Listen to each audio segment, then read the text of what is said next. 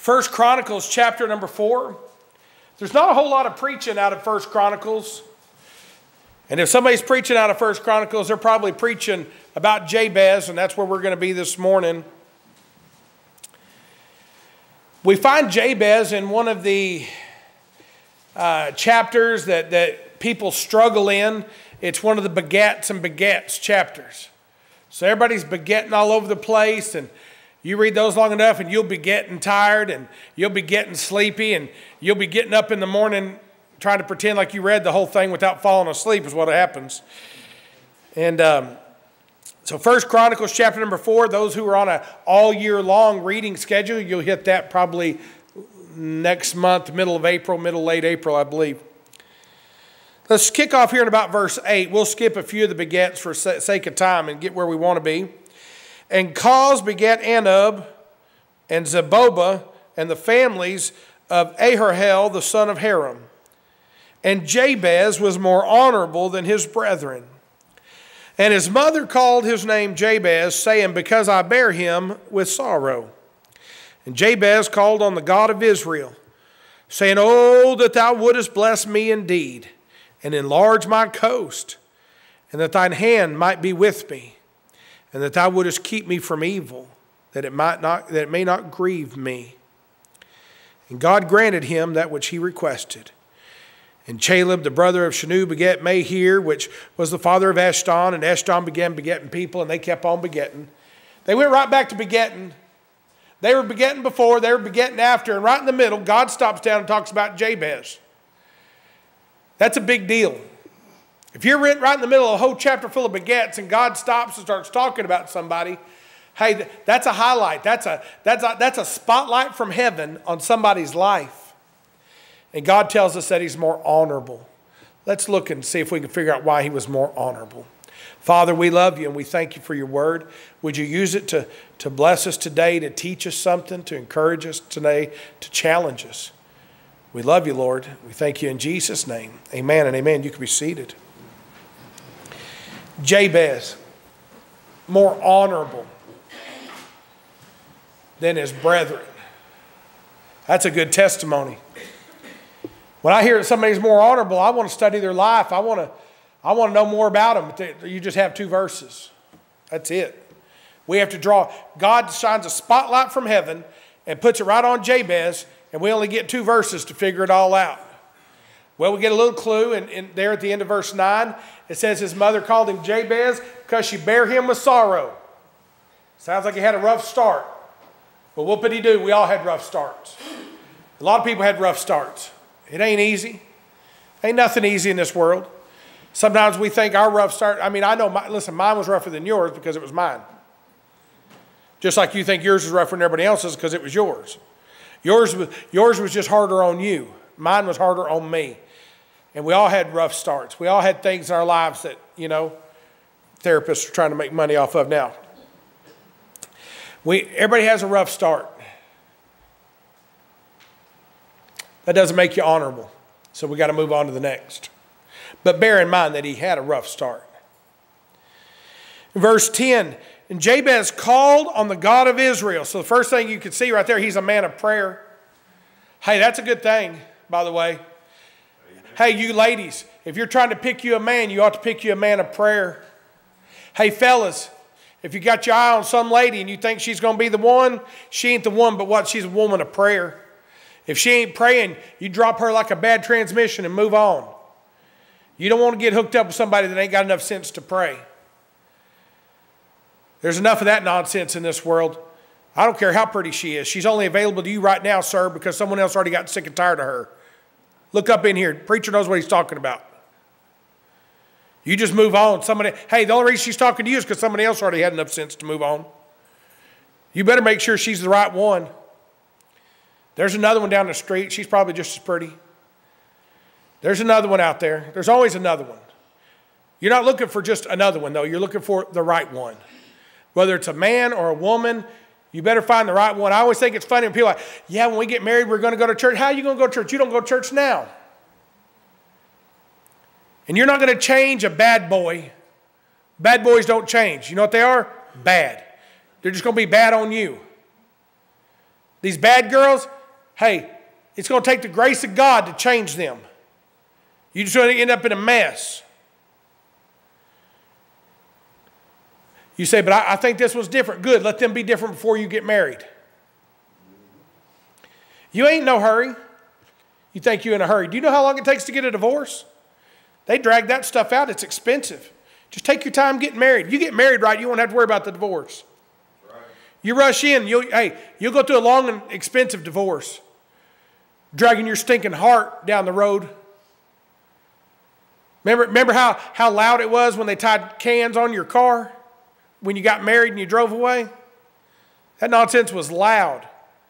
They did that to us. They had a bunch of cans up underneath our car, and then some genius took a trash can lid,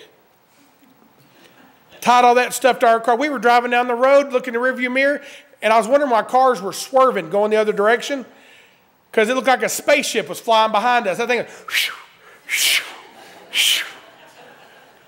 and you could just hear that. We stopped at some point, just unhooked it. I don't even know if I took time to throw it off on the side of the road. We were just gone. Hey, we was done with wedding day. That's what she was dreaming about. We was heading off somewhere else for what I was dreaming about. I was, I was ready to go to that nice hotel. We was heading over to the hotel in Dallas. That was wonderful. And uh, I'm telling you, it uh, don't get in a hurry to get married because it'll be a mess. It could be a mess. Mrs. Grice and I, we got married too fast. We spent a year and a half fighting. It was horrible. I wish she hadn't been so good at fighting. I was good at it too, though. We, we had to come to a place. Listen, it takes a long time for God to change people. That's right. And you can save yourself a lot of heartache, you can save yourself a lot of heartbreak if you just let God make the change before. You need to be sure about something, Uh, especially when it comes to marriage. That's for free. I ain't even preaching on marriage today, I just wanted to help you. He's at Jabez, he's a man of prayer. He was calling on the God of Israel, and look what he was asking for. Oh, that thou wouldest bless me indeed. He didn't just say, I want to bless. He said, I need a blessing indeed. I need something that like I'm going to notice and everybody else is going to notice too. I'm looking for the big blessing. I'm looking for something big. I know people are like, well, I'm just praying for a little blessing. What? I ain't asking for no sissy blessing. I ain't talking about no little blessing. Well, somebody's like, well, on my job, I'm praying for a 2% raise. I hear that's what the cost. No, I'm praying for a promotion, a big fat raise. I'm looking to change the world right there. I'm looking to change my economic situation on a job. I was, and, and I'd be mean about that stuff. People going in like, oh, I heard he only got 3%. I was like, my boss like, I can only give 3%. I was like, no. That's your budget is 3%. That's 3% across the board. You remember you said I had to do their work and their work and their work because they was too stupid? Good. They all just lost half a percent, half a percent, and half a percent. I'm up to four and a half percent now. Let's keep going. Look over on this side. And, and man, I just wearing them out. Going there, people like, I'm not real happy. I just got like a 2% raise. I go, yeah, I heard it was rough this year. Meanwhile, I got a seven to three quarter percent and get an eight percent raise, you know, and, uh, and a promotion. And I'm just like, yeah, I know that's right. So anyway, hey, it wasn't time to be fair. It was time to get blessed. It was time to get paid for the work I'd done. I don't know. Maybe you're praying for little bitty blessings, and hey, if that's it, that's fine. I got a big God. I'm looking for big blessings. I'm, I'm looking for a big blessing. I, I, don't, I don't even pray. Listen, I'm a big dude, but I don't even pray for grass size blessings. I'm praying for something so big only God can do and only God can get credit for. We've seen God do miracles because we asked. We asked. When we were financing this building, we was uh, going around. I went to 12 different banks, and bankers will laugh at you. Bankers are rude. I went in, some old fell over in Fort Worth. He is the worst one. Had a cowboy hat on. We sat down. I was like, all right, this is good right here. He said, all right, what do you need? I said, I need uh, $435,000. He said, all right. We got it. Tell me what you're doing. I said, we're buying a church building. I said, good. How long you been pastoring? I said, nine months. He said, Who pastored it before you? I said, Nobody. I just started it. He said, Nine months? if you got real good finances, you come back and see me in three years and we'll talk about it. I said, No, I ain't got three years. I said, I got a bunch of people we're stuffing in a, in a storefront over here. I said, I only got three parking spaces. I got hookers fixing themselves in the, in the window as they walk by. I got trains and, and, and fire trucks and, and, and uh, ambulances coming by. I said, We're in a mess. And got homeless guys open the door. Hi, preacher. This, if we was having a church fellowship and there was food involved, that joker could smell it four blocks down. He'd come visit. His name was Alvin. He'd come here. Hi, preacher. I'm right in the middle, like on the third point. I'm trying to alliterate. And Alvin comes and, what are we having for dinner? Didn't even show up for church. You at least got to be a church member to do that. Prostitutes looking in the windows. Man, we had to open the blinds just to, and every time you see a girl walking by, you're like, trying to fix the blinds because you knew you, they couldn't see in, but they could see their own reflection, and they made sure everything was right. And it wasn't right because we could see out. I'm at, and banker talking about come see me in three years. I ain't got three years, sir. I got a building that needs to sell now. Hey, I, I got a congregation that needs to move now. And he just laughed. I mean, I'd gotten sick and tired. We, we'd made a, a, a book. I still, have, I still have one just to keep for posterity. And, and we kept taking pictures, and the building was so ugly on the outside until we couldn't use the picture. So I had my mother in law uh, sketch a picture that looked better. I was like, ooh, take that tree out. Uh, see where that wood sags? Straighten that up right there and do this. And, and, and, until it looked good and it looked all professionated, you know, it's professional. So we, uh, we, we got all ready. And so I carried around. Finally, I found it. I was like, God, you're going to have to do something. I've been to 12 bankers, and I don't even, I was wanting not, not even having a checking account no more. I was so mad. So we finally went to a bank. And listen, here's how God put it together. I sat down with the vice president of a bank, and I didn't know him, but he recognized me because somebody had put together a basketball game with the intent of having preaching. So I showed up, it was halftime, I preached at a basketball game.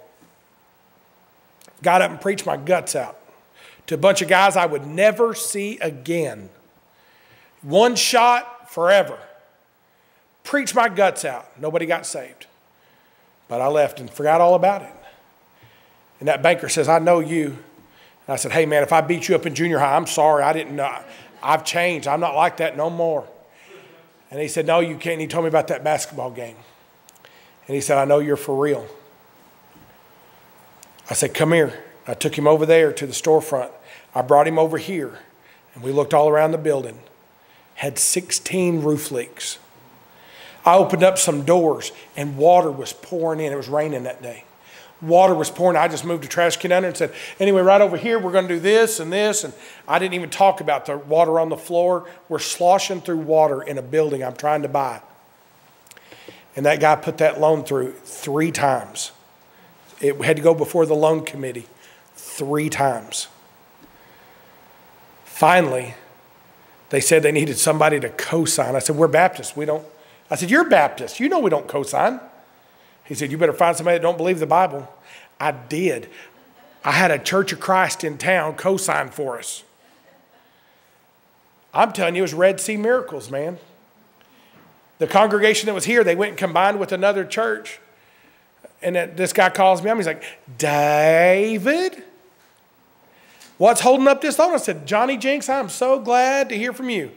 He's dead now, but I said, Hey, Johnny, I said, I, I was thinking the same thing. I was talking to the bank, and he said that we ought not, you know, we, we can't do nothing until we have a cosigner. He goes, What does that have to do with me? I said, Well, I need you to call an emergency uh, meeting of your leaders. Y'all got some deacons over there? Because we have elders. I go, that, That'd be the guys I'd talk to.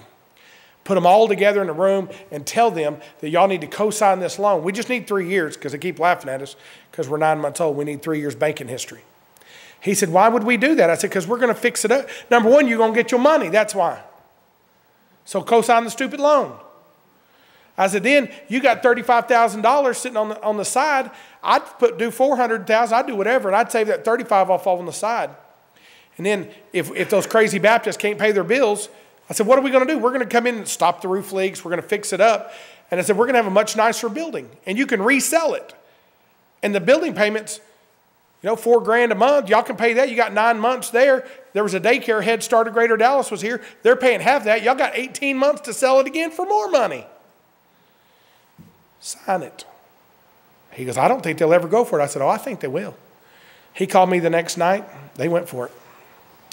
Red Sea miracles, guys. Hey, why am I a man of prayer? Because I've seen God answer prayer. We have seen people healed of cancer. We have seen people that were comatose, that were about to be unplugged. We have seen them wake up and live for years and rehabilitate. We've seen God answer prayers. So it doesn't make me nervous at all when Jabez calls upon the name of the Lord and says, Bless me indeed. Hey, bless me indeed. Hey, do you want to be honorable or not? I'm talking, I want to be honorable. Jabez was more honorable than all his brethren. And part of it was he was a man of prayer and he was willing to ask God to bless him indeed. That wasn't all he was willing to ask. Look at this. That thou wouldst bless me indeed and enlarge my coast. Guys, he wasn't asking for a beach. He's talking about increasing his influence with others. Enlarge my coast. Give me more influence. Now, listen, with more influence comes more responsibility. So, you had better be right with God. So, you need God's blessing. You better be a man of prayer. But he said, Enlarge my coast. And not only that, look what he says here. And that thine hand might be with me. Praise God. We need God's hand with us today. We need God's hand on us. The other day, my, one of my kids like, Daddy, I can't get on, my, on, on this bike. He's riding one of his big brother's bike. It wasn't that he couldn't get on, he couldn't ride it. So what I do? I had to go out there and put my hand on him. And he started doing pretty good. Then I just barely had to have my hand on him. And then I let go of him, and then he fell off. He needed my hand on him. He needed my hand on him. Guys, that's what we need. We need our Heavenly Father to have His hand on us so we don't fall. We need His hand on us so He can guide us, so He can balance us, so He can help us. Jesus sits at the right hand of the throne of God. That is the power hand. I need God's right hand on me. It's Jesus. I need Jesus on me. And that thou that thy hand might be with me, and that thou wouldest keep me from evil. There's two aspects, two different ways to look at that. Keep me from evil. Keep me from doing the stupid stuff I do. Just like the model prayer lead me not into temptation, but deliver me from evil. So, certainly, we want God to keep us from doing the terrible things that, that cause heartache and heartbreak. We want God to help us from doing things that are hurtful to ourselves, to our testimonies, to our families, to our friends, to our church. Hey, don't do things that are hurtful. Keep me from evil. But also, Keep me from the effects of evil trying to get me. Little 1 Peter 5 8, be sober, be vigilant. Because your adversary, the devil, has a roaring lion, walketh about, seeking whom he may devour. You better watch out. I'm praying God keeps me from that evil that's lurking, looking for me. Don't let me do something stupid, but don't let somebody else do, being doing something stupid hurt me. Keep me from evil all the way around. Ain't that good? Hey, there's a lot of people in this world looking for trouble and they find it. Jabez was honorable and he said, I don't want nothing to do with no trouble. You keep your hand on me. You know, as we was going out, there's a big pothole in, big in, in our yard. I was helping my kid ride that bike. You know what I did? Because my hand was on him, I kept it from the evil of that big bump. I, I just pushed his little seat over and put the seat. I just had my hand on his seat, you know, kind of guiding that seat, keeping him going where he needed to go. We went right around that. Had I not, or had I chosen that time to let go, he was going right over. We need our Heavenly Father's hand on us, and we need Him to keep us from evil. And you say, well, preacher, you make evil sound. No, it's evil. Look, look what else. He says, keep me from evil that it might not grieve me. Look at it. That it, that it may not grieve me. So, what do you want to be in this life? Do you want to be honorable or do you want to be grieved? You better pray that God will keep his hand on you, that he'll bless you, that he'll keep you from evil. You know what's exciting to me? God granted him that which he requested.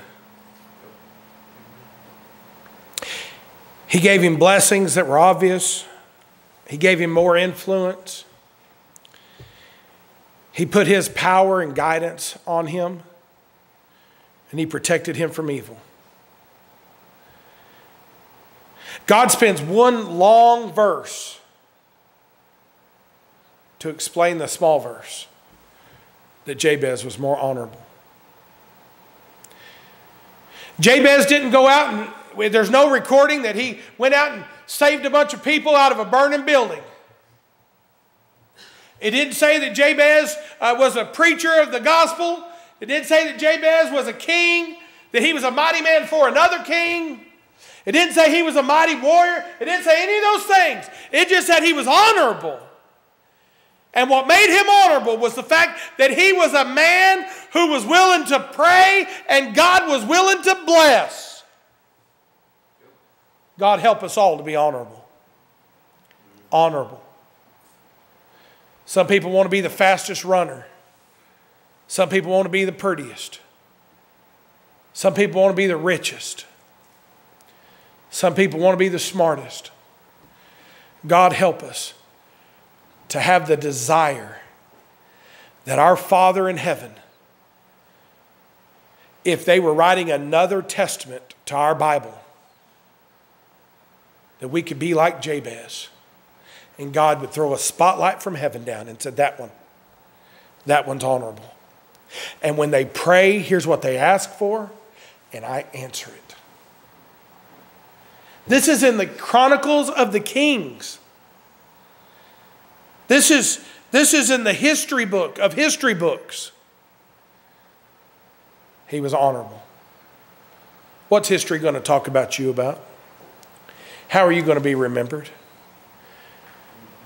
When they wrote these chronicles, it, it's so that things would be remembered. That they would remember the, the heritages. They, they would remember the bloodline. They would remember the, the big events, the big battles, the victories, the losses, uh, the changing of the guard. They would remember all the history. And right in the middle of the history book, all we know about Jabez, I don't know what his favorite color was. I don't know if he was a cheese enchilada guy or a chicken enchilada guy. I, I don't know if he liked, you know, riding cars or I, I don't know if he liked three drag, drag racing or round, you know, dirt track racing. I don't know any of his hobbies. All I know is that he was an honorable man, a man of prayer, someone who desired God's blessing, someone who desired God's power, somebody who desired God's guidance, who wanted to be an influence on other people as an honorable man. Somebody who wanted to stay far from evil. And he was somebody that God blessed and answered his prayer. How are you going to be remembered? Wouldn't it be great if, when we're dead and gone, if Jesus hadn't returned yet, that people would remember us as somebody who was really, really faithful and somebody who God answered their prayers. Boy, I remember him. Oh, I remember her. You could call her up and she would pray, and I called her to pray because God answered her prayers. I trusted that guy. Listen, when I had a prayer request, I couldn't tell nobody, but I told that guy because he was an honorable man, and God answered his prayers. What a fantastic testimony that would be.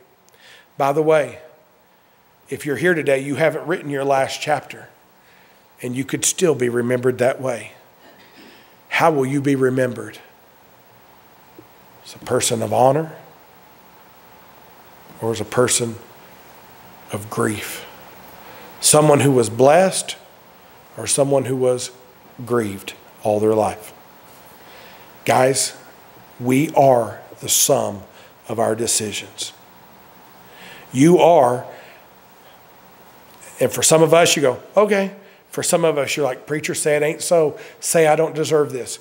Each and every one of us is the sum of our decisions. We are who we are and where we are because of the decisions that we've made. And if we don't like that, we just have to make some different decisions. I'll tell you some good decisions. Be a person of prayer. Be somebody who calls on God and asks for the blessing. Be somebody who can be a good influence. Be somebody who has God's hand on their life. Be somebody who stays away from evil. Be somebody that puts themselves in a position to be blessed and have God answer all your prayers. Father, we love you. We thank you for loving us. And Lord, I just pray that you bless our invitation time. Pray that your will would be done. Maybe some of us today just need to stop and say thank you for answering our prayers, not realizing how big of a deal that's already been. For some of us, maybe we need to make some changes so that you would answer our prayers. Whatever the need, I pray that you'd have your way and will in Jesus' name.